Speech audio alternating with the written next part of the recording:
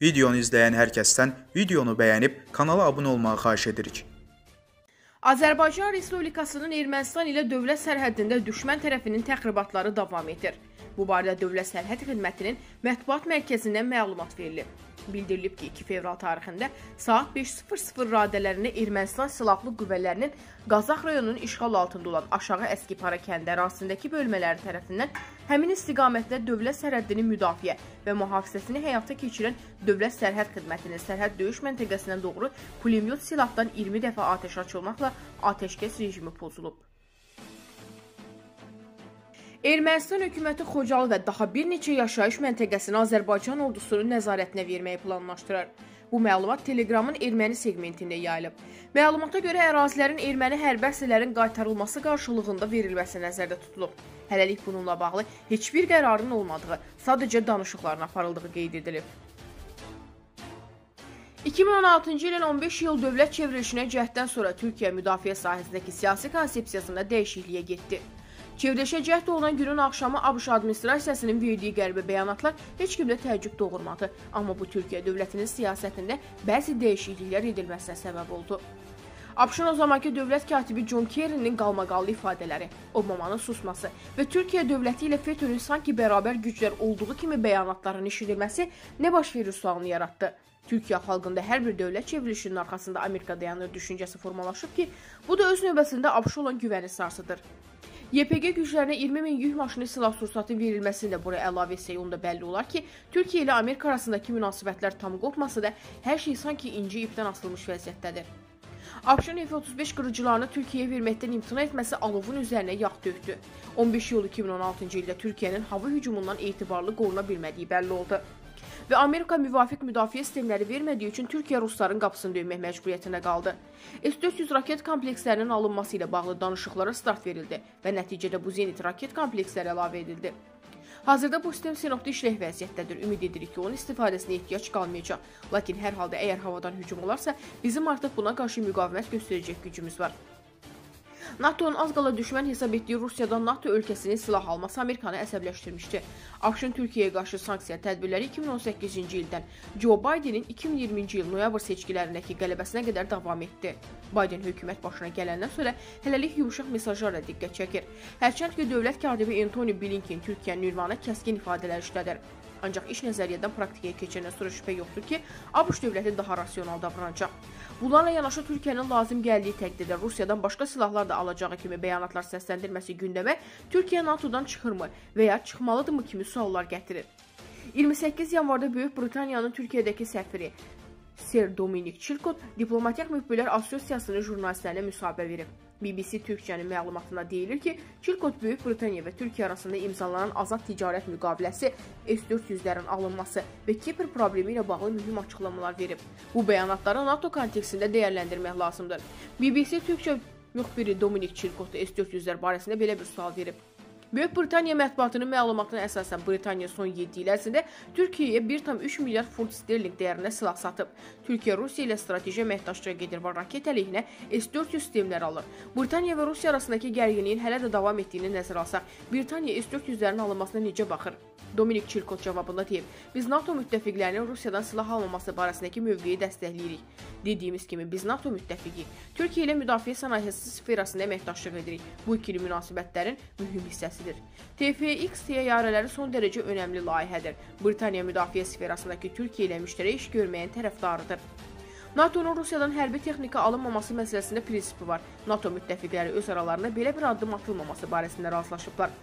Britaniya hökuməti bu məsələdə həmin mövqedən çıxış edir. Biz NATO-nun müttəfiqlərinin Rusiyadan hərbi texnika alınmaması və Rusiya istehsalı olan silahlardan istifadə edilməməsi mövqeyini dəstəkləyirik. Mövqeyimiz tam aydındır. Ümid edirəm ki, gələcəkdə Türkiyə müdafiə sənayesində Rusiya ilə deyil, NATO-dakı müttəfiqləri ilə əməkdaşlıq edəcək. Göründüyü kimi, Britaniyanın Ankaradakı səfiri Rusiyadan silah alınmasına qarşı açıq çıxış edir. Türkiyənin Türk Havacılıq və Uzay Sənaye qırıcıları TFX qırıcıları ilə əvəzləmək istəyir. TFX qırıcılarının mühərrikləri barədə Çilkot deyib. Britaniya hökuməti bu mühərriklərin hazırlanması və istehsalı məsələsində Rolls-Royce-un Türkiyə ilə birlikdə çalışan şirkət olacağını ümid edir. Son bir neçə aydır ki, başda Rəcəb Tayyip Ərdoğan olmaqla Türkiyə hökumət nümayəndələri bizim kursumuz qərbə doğrudur deyirlər.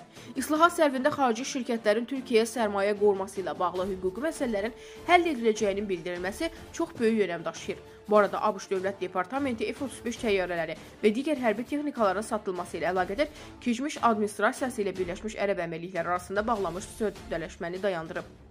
Həmçinin ABŞ hökuməti Fələstinə yardımları bərpa edib. Bu yardımlar Tramp dövründə durdurulmuşdu. Bunların hamısı çox mühüm məsələlərdir.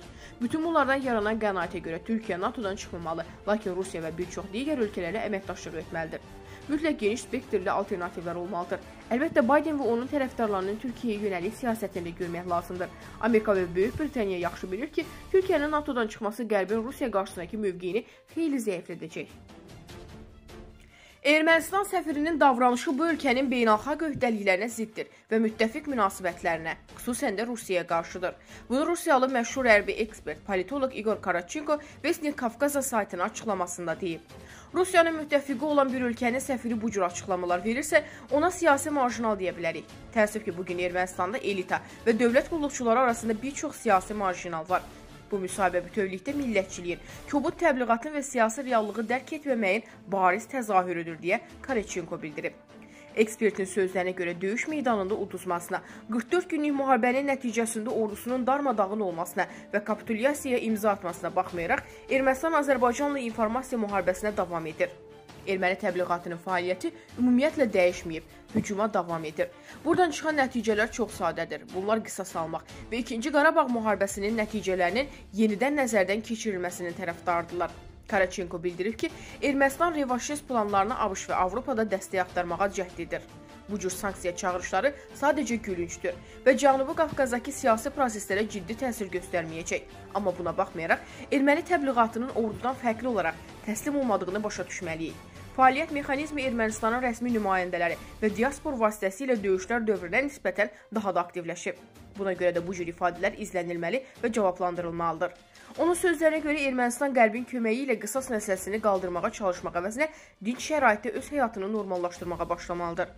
Ermənistan bugünkü fəlakətli maliyyə iqtisadi vəziyyətdədir. Bütün sahələr məhv edilir. Dövlət borcu böyükdür. Belə şəraitdə Ermənistan üçün yeganə çıxış yolu Azərbaycan və Türkiyə ilə mehriban qonşuluq, Rusiya ilə müttəfiq münasibətlər, regional iqtisadi və nəqliyyat layihələrində iştirakdır. Bu vəziyyətdən başqa çıxış yolu yoxdur. Politoloq Ermənistanın beynəlxalq arenada müstəqil bir oyunçu olmadığına və müttəfiqi Rusiyaya qarşı Qərbin tətbiq etdiyi sanksiyalara qarşı çıxmadığına görə təəssüfləndiyini bildirib. Postsovet məkanında müstəqil siyasət apara bilən az sayda ölkə var. Əksəriyyəti qərbi maraqlarını nəzərə almaq məcburiyyətində qalır. Həqiqi tərəfdaşlar arasında yaxşı, möhkəm iqtisadiyyatı və güclü rəhbərliyə sahib olan Qazaxstan və Azərbaycanı qeyd etmək lazımdır.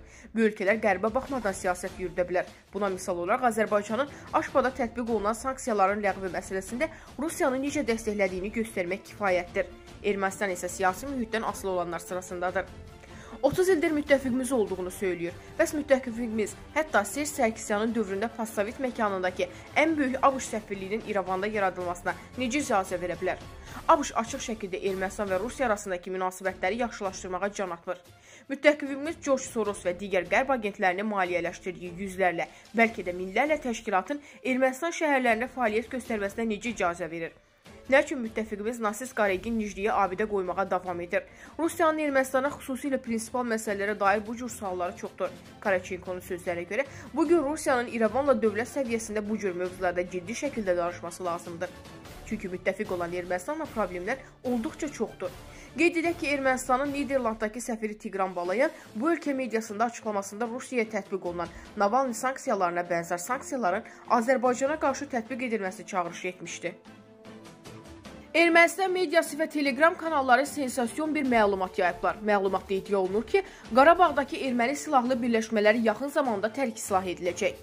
Xəbərin qaynağı kimi Ermənistanın Vatikandakı keçmiş səfir, sabiq prezident Serj Sarkisyanın kürəkəni Mikhail Minasyan göstərilir. Minasyan deyib ki, Nikol Paşinyan və Vaqarşak Arutünyan artıq buna razılıqlarını veriblər.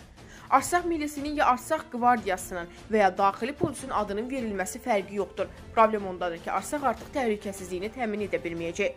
Qondarma rejimin adından bölgədə yerləşdirilmiş silahların Ermənistana bağlı olmasına kimsədə şübhə yoxdur.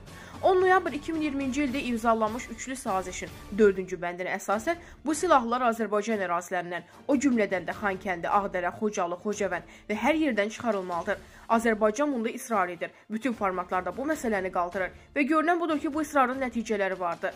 Ermənistana bağlı silahlılar məhz 10 noyabrda imzalanmış saziş əsasında Azərbaycandan çıxmalı. Onların yerinə Rusiya sülhməramları dinc erməni əhalisini qorumalıdır. Proses bu sonluğa doğru başlayıb. Bundan sonra da məlumdur ki, ilk növbədə Ağdərə Kəlbəcər yolu açılacaq. Daha sonra Xankəndində Azərbaycan əhalisi qaytarılacaq. Daha sonra qarışıq əhali yaşayan məntəqələrdə Azərbaycan polis idarələri qurulacaq. Orada fəaliyyət göstərmək üçün yerli ermənilər işə alınacaq. Ağdamda Türkiyə-Rusiya birgə monitorinq mərkəzinin açılış mərasimi oldu. Türkiyə ordusu bu gəlişi ilə Qarabağdakı problemləri aradan qaldırmağa tam müvəffəq olmasa da problemlərin həllinə kömək edəcək. Bunu açıqlamasında ehtiyatlı olan general-mayor Özgür Ter deyib. Türkiyə generalı bildirib ki, informasiya savaşı müharibə qədər önəmlidir. Türkiyənin rəsmi olaraq işğaldan azad edilən ərazilərdə olması yalnız bölgəyə yox, dünya ictimaiyyətinə də mühüm bir mesajdır. Azərbaycan o torpaqların əsl sahibidir. Buna baxmayaraq problemin həlli illərdir ertələnirdi. Türkiyənin artıq bölgədə olması tərəflər arasındakı balansı tarazlaşdıracaq. Xan kəndində Xocalda Azərbaycan bayraqlarını, Azərbaycan əskərini görmək hələ mümkün deyil. Problemi tam həll etmək üçün yaxın keçmişdə olduğu kimi Azərbaycan qətiyyətli və təxirə salınmaz işlərini davam etdirməlidir. Astara və Lerik dağlarında yığılan bu bal bir çox xəstəliklərin dərmanıdır. Arıcı Üzfün zəhmətlə yığdığı balı evinizə gətiririk. Çatdırılma pulsuzdur. Koronavirusun dərmanı olan bu təbii balı sifariş vermək üçün aşağıdakı telefon nömrələri ilə əlaqə saxlayın.